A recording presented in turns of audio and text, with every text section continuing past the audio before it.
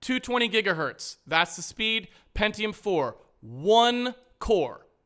Here it is. That's the entirety of it. How much memory does it have on it? Oh my God, right?